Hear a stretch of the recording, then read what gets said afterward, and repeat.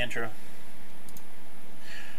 What's on your easel? What's on your easel? What's on your easel today? Okay. Um, this week we have some easels from Pamela French. Let's see.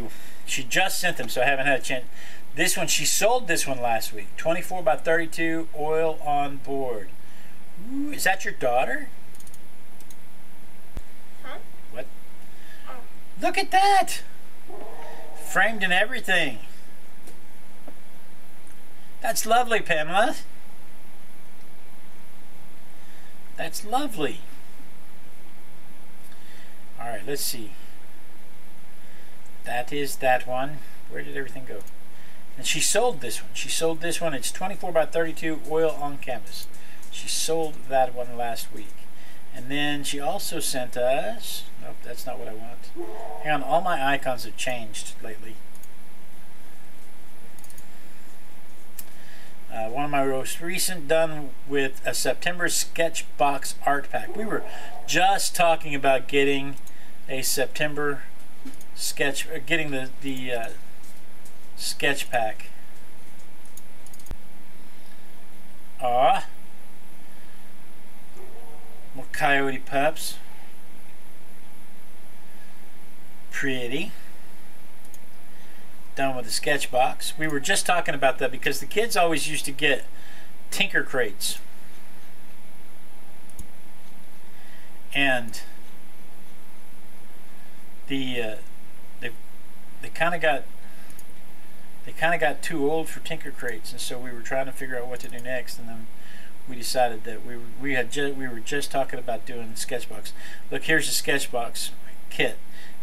Comes with everything you see. It's got the water brush, it's got the pencils, it's got the the uh, the half inch brush there. It's got inks and paints, a couple little canvas cards, and uh, and a guide. Amsterdam. This one came with Amsterdam acrylic ink, uh, two times speedball acrylic ink, so that's got to be what those two are. Derwent paint pen white, general pencil white, water brush medium tip, mixed media tone blue. This is just really cool that it comes with all this stuff, and and then a suggestion for what to do with it. This is just really cool. So. Uh, we were talking about getting that for the kids just now. I'm glad you sent this to me. Do you like getting your your sketch boxes like that?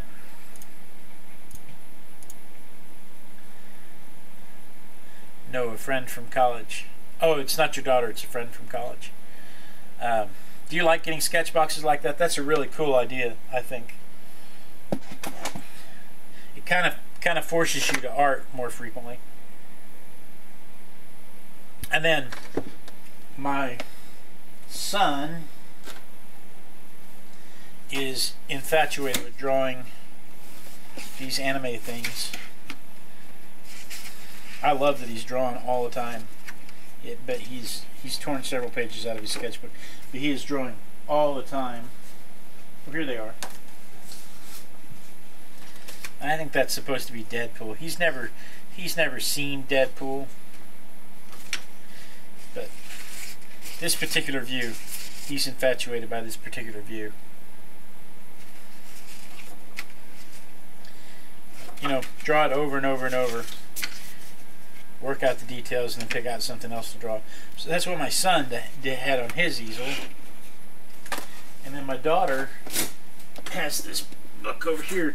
Now I want to show you this because this she did something I never would have thought of doing. We got her we got her this book so she could do Goretober. I'm doing Inktober. Uh, Pamela says the sketchbook this month is really cool with the Inktober stuff because so that's why they gave you all the ink and brushes.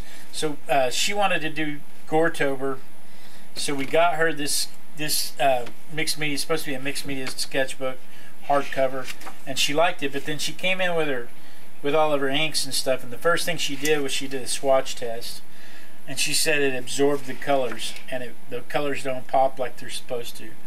It absorbed the colors, and so she doesn't like it for that. She doesn't mind sketching in it and using it as a mixed media journal, uh, as a mixed media book, but she doesn't like the way that the the pages soak up her soak up her ink. And you know, I never even it never even would have occurred to me to do this. I'm so proud of her for thinking about stuff like that. It, it never even would have occurred to me. Uh, and then last night, my wife decided, my beautiful young bride decided she was going to start Inktober also. And so she went back to the first day's prompt, which was rings, which was ring. And you can see she started with rings for her Zentangle. And so she did this one last night for day one of Inktober. And then she started this one for day two, which day two was uh, mindless. I think day two is mindless. And so she started day two. Day three is bait. We we haven't started we haven't started bait yet tonight. So uh, that's day three. So we'll we'll get on that tonight. Now for me, for my daily uh, random object randomographer stuff, I have done. Let's see, when did I do this? I did this one Monday which is a ram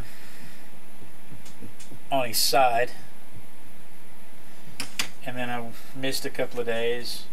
But no, the 30th, this is Tuesday, this was a dinosaur skull. I'm trying to do them in, in uh, fountain pen. I want to. I'm going to stick with fountain pen until I finish this. Until I finish this one book, and when I finish this one book, then I'm going to go back to. I'm going to go back to pencils because I'm I, I think I need to learn some more control in pencils. So there's the the uh, random object randomographer, and then I think I think you've seen the snail already. I think I already showed you the snail before, but just in case I haven't, there's the there's the snail mini that I painted. I don't remember if I showed that to you last week or not. And then I did a watercolor here, playing with some watercolors. What you doing, buddy? Nothing. Just wanted to come outside and walk. Cool. I love that you're out here with me. And so I did a watercolor. Uh, this was the 27th, so this would have been what Saturday. So that was fun. And then what else do I have going on over here? I have after this I did a set of hands, just one set of hands. I'm supposed to do a set of hands every day. I did one set of hands. And then I did a face. Which is okay, because faces only came up once in the rotation, so but I did one face. And one of these days, this this lady is a beautiful uh, artist, local here, and uh, one of these days I'm going to be able to paint her, and it's going to look like her. This does not do her justice. She is she's absolutely stunning. Uh, as far as I can tell, the only flaw. I mean, she even has she even has the two tone green and and amber eyes. Uh, but as far as I can tell, her only flaw is she's not a she's not a ginger. But that's probably a good thing because you know that keeps my marriage safe. Um, so there's that, and then Inktober. Oh no, we we I did an art journal page last night because that came up in rotation. When did the show start? Uh, about an hour ago. No, about 45 minutes ago. So last night I did uh, a Halloweeny page. It's Halloweeny time. It's Halloweeny time. And then finally, that gets us to Inktober. And so for Inktober, let's see, there's the 23rd. There's the 25th, that's a Wednesday, so I know you saw that one. Here's the 30th, that's a Monday, but that's not Inktober. Inktober started with ring, so I did that acrobatic ring. And then day two is mindless, so I did um, oh, what's that girl's name from Clueless? I can't think of her name. Alicia Silverstone. Alicia Silverstone from Mindless. And in this book, I've got this little torn piece of of uh, file folder so that it doesn't bleed through. And I have my artistic biker so that when I take pictures, it doesn't show the the previous day's picture. And that is what was on my easel. That is what was on your easel. If you would like to be a part of what's on your easel, simply send an email to blade at artisticbiker.com. We will use your works to inspire other people to do stuff because that's what this whole shebang is all about is inspiring people to No momento, mama. what's wrong Dinner, sir. oh you said uno momento No momento, mama. he's freaking a spanish he's he's freaking spanish all right that said this is not quite dry so we're going to dry this just a little bit more and we'll take a little break and we'll be right back you know we don't really go anywhere that's just something we say for the for the uh, youtubers you need to subscribe to this channel. You need to subscribe to this channel. Need to subscribe to this channel. Subscribe to the Artistic Biker now. Click the buttons.